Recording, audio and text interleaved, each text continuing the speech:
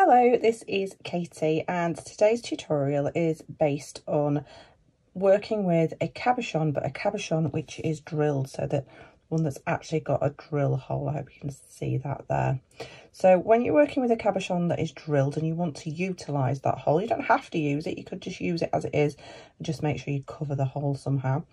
But um, if you want to utilise that hole and make it so it's naturally anchored so that you're not actually surrounding the cabochon as well, so you can see all the beauty of that cabochon, you can use that hole and do a little weave and create this little bail section for it and you can make this I've made this quite big you can make it smaller it's entirely up to you so I'm going to show you the technique that I used on this one here so a little note just at the beginning I'll pop another note on at the end um, everything that I'm using here apart from the 0.4 millimeter wire um, is taken from the Relax and Craft subscription box.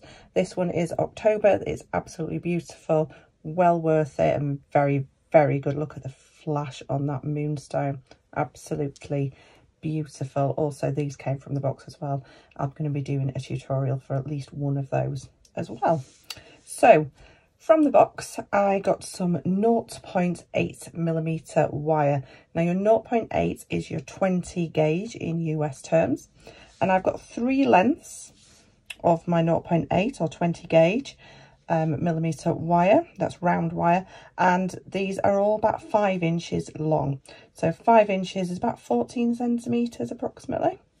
And then I've taken a length of um, 0.4 millimeters, which is your 26 gauge. And this is about, oh, I've forgotten to measure this one. Bear with me a second. So this is about, about 40 centimetres approximately. So I will pop that in on inches. It's actually probably about 50 centimetres. We're only going to use 40 centimetres, but I've cut it anyway. So we will leave that. I'll pop that on the screen in inches for you as well. So what we're going to do is we're just going to create this wrap and then we're going to utilise the ends to anchor that through that drill hole and just create this nice little design just so it's nice and neat and tidy. Right, so this will also work on anything that's like a point, so any pear shape, marquee shape that's got the drill hole, anything that's round it will work in. But also if you've got something square or something, a rectangle, it will also work on that. You'll just need to work over the top rather than down the sides. It's absolutely fine. It'll work both ways. So I'm going to do this little fancy wrap that um, I do have a full tutorial for it. Um, I will link it in the description before. But what I'm going to do is I'm going to take that length of the 0.4 26 gauge wire and I'm going to fold it in half just so that it pings together and then we can just pull that, not too tight, but just so it forms a loop. Just move those out of the way for a second. Then we're going to pick up one of our wires. We're going to pop our wire through that loop. So popping it through the loop, tighten it on there. And what we want to be working on is this middle section. So let's just move those out of the way so we focus a little bit better. There we go. So we're going to be working on that middle section and you just want to make sure your loop is nice and neat and tidy around there. So you should be able to feel your loop on the top and you're going to have a working wire at each side of it. So you're going to be working with two working wires. Don't worry, this is a very, very easy basic beginner's weave. Then we're going to pick up our other two wires and we're going to pop it, one at each side, level them up. So when we're looking at it, we're going to have three wires and one is going to have that wrap on the top there. And both of our wires are coming from underneath.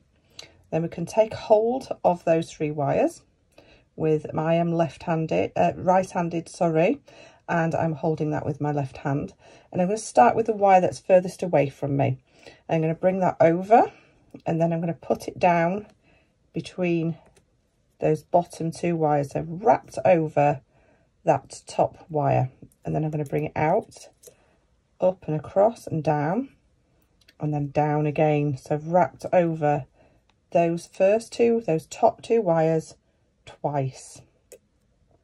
Okay now I'm going to do the same with the other side. And just notice when I'm actually taking this across I'm not just kind of going like this and wrapping it round because that's going to create that angle there What I'm actually doing is taking it all the way across, then bringing it down, pushing it all the way across, back underneath towards myself, all the way over the top. So what I'm doing is I'm telling it the direction I want it to go before I actually take it through in between the wires. And that will help so much with your wire wrapping if you just take the time to tell the wire where you want it to go first.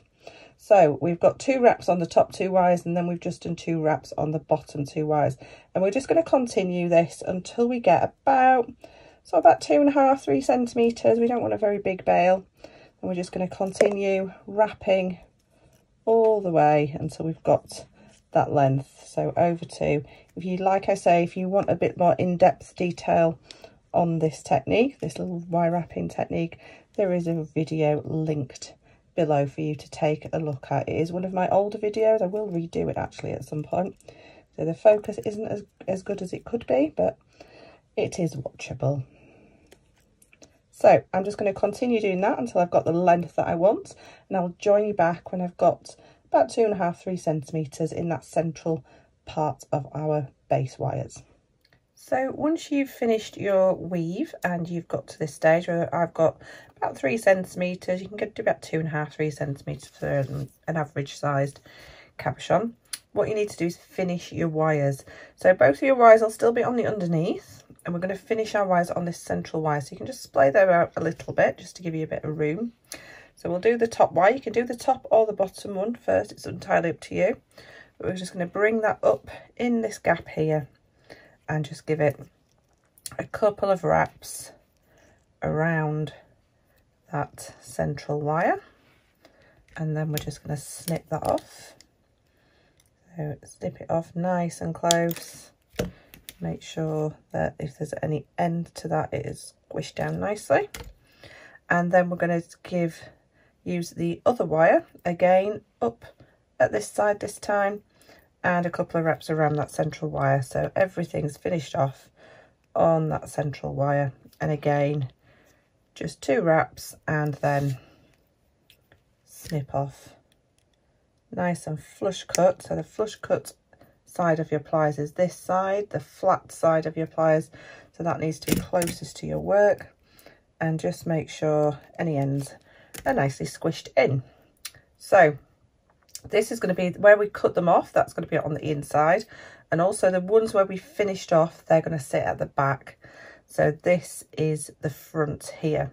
So what we need to do is just splay these out a little bit. So we're working on the front so where we started our weave the end is back here. So working on the front we've just splayed those out.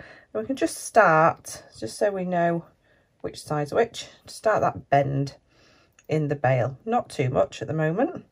Now this central wire is the one that's going to go through the cabochon. So we need to push that back nice and neat. So it's pushed back towards the centre of where our cabochon is going to sit. And then we can pop our cabochon on like so. And we know that it's it fits through. We know that it's in the right position. Now don't worry it's going to be moving around a lot right until the very end. Don't worry, that's not a problem. As long as when you do any measuring, cutting, you've got everything centralised, that's absolutely fine. So just for a moment, we're just going to go come to the back again. We've popped that wire through, making sure it's nice and tight, as squeeze, well squeezed into the cabochon as, poss as possible. And then we're just going to push that all the way down like so. Now we're just going to finish off this wire. We're just going to do, what we're going to do is we're going to make sure it's nice and straight. So make sure that the actual bail is coming out straight. Holding that from the opposite side. I'm just going to take that out to one side, either away or towards yourself. Just so it's kind of at a 45 degree, degree angle to that.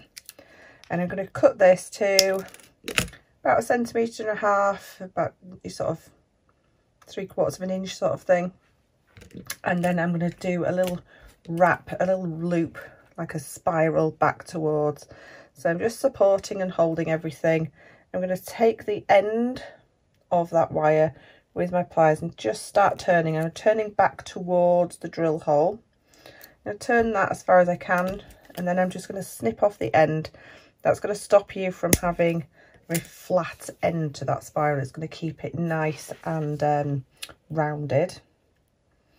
And we're just going to start using our round nose pliers just to pull that in and start spiraling that around.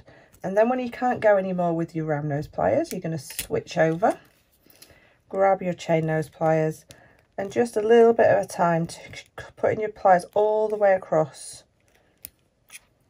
building that up, pushing that in, just so that we've got that secure. Obviously, this isn't going to not very good at the moment because we've not created a bail, but we've got that actual brace across through that drill hole secure and in place. So the next thing we're going to do is we're just going to sort of start creating that bail. Now what you might want to do, just so it sits a little bit nicer, is hold where we just made that spiral, pop your thumb on there, hold right at the front there where it goes through and just push that forwards and then start shaping it. It'll just give it it's just a slightly nicer shape like so because we want it to kind of bump out more towards the front so that when it's actually sat on the decolletage or your neckline it will sit a lot nicer. So it sits more slightly forwards if you can see that there. Okay so looking at the front we're just going to make sure they're splayed out quite nicely like so just catching the edges like so and then we're just going to turn this over and splay out the ones at the back. So the central one's going to come down the centre and these are going to come out to the sides. Okay. So what we want to do now is we want to cut these front pieces. Now we do want them to be quite short. They want to be no more than a centimetre each. We can make little adjustments at the very end and take them a bit shorter if we need to. But we're just going to cut those nice and short, around about a centimetre each. So just making sure we cut everything. That one was a little bit short. Never mind, it'll be fine. That's probably about right actually once we've made adjustments. So now we've got somewhere to anchor our wires onto. So now we've cut those front pieces, we're going to bring these over. So we want to try and make sure our cabochon stays nice and central so that it's going to sit with the bail nice and central. And we want to bring this wire, or this one if you want to do that one first, um, over the shoulder of the cabochon, so the shoulder of the cabochon here. Now we don't want it to come too close to the top because we wanted to brace it a little bit and then we can just lay it across the front. Okay, so it's made this shape. It's going to look a little bit odd to start with. Okay, now that wire, I only want it to come over the wire that's it's coming across only a very small amount because I'm going to kind of bend that and anchor it around. So what I'm going to do is we're going to do one side at a time. I'm going to cut this and it's going to be quite short. So can you see it's only a few millimetres over that wire like so. Okay, now holding everything, so I'm just keeping everything in place by holding the back and then I'm going to take my round nose pliers and just turn the end of this wire. So we want to be right on the tip of it. And I want to turn it and I'm turning it towards the cabochon. So we're just going to leave it at that for a minute and then we're going to do the other side and then we can make lots of little adjustments at the end. So you might want to turn it around if it's more comfortable and bring this over. Just work around whichever way feels more comfortable to you. But we, what we want is matching sides. So just make any adjustments you need to. You can see we've got that nice gap here, nice gap at the opposite side. And again, I'm going to make that same cut. So just a few millimetres over that, uh, the wire that's coming across, like so. And then again, I'm going to use my round nose pliers. So I'm going to get the cabochon in a position that's comfortable for my for my, my hands don't always go with exactly what I'm doing with my hands because sometimes you might think, oh, that feels really awkward. Go with what feels good for you. And then you, the more comfortable you are, the better your work will be. And again, we're just turning that towards the cabochon, okay? Now, if you've got the really nice fine nose pliers, you can actually get your pliers in there and right at the tip really pull those in. So right at the tip again and really pull those in. So you can see we've actually grabbed that little piece of wire so now what we need to do is finish off these ends here and we do that by using our round nose pliers Remember, don't push against the gemstone. You're just holding the wire. We don't want to be scratching the stone, especially if you've got a very soft stone. And then we're just going to turn the wire up towards the bail, like so. So we've got that little sort of loop coming back on itself. They're all kind of catching in with each other and it's just holding and securing. Again, just pull that back and there we go. We've got the front all set in. Now all we need to do now, you'll find your cabochon won't move around as much now. And all we need to do now is finish this. Now we're going to put another spiral on top of here. Remember when we when we made the first spiral, we pushed away to this side. So we're going to do it the opposite way this time. So we're going to push it away to the opposite side. I want this spiral to be slightly bigger, so I'm going to cut my wire just slightly more just so that it, it sits nicely with the, the opposite spiral. And again, I'm going to pop my, my pliers right in, so my round nose pliers right at the end. Start turning. And again, I'm just going to pick up my flush cutters and using the flush side of my pliers. Just going to snip off that end just so that we're on a nice round to begin with. And that way you will get a really nice spiral. If you want to know more about making spirals, making bigger spirals, there is a video available on my channel. Just check it out. Make sure you have liked and subscribed. Like this video, subscribe. You won't miss any of my videos then. You'll get a little notification, especially if you click that all button.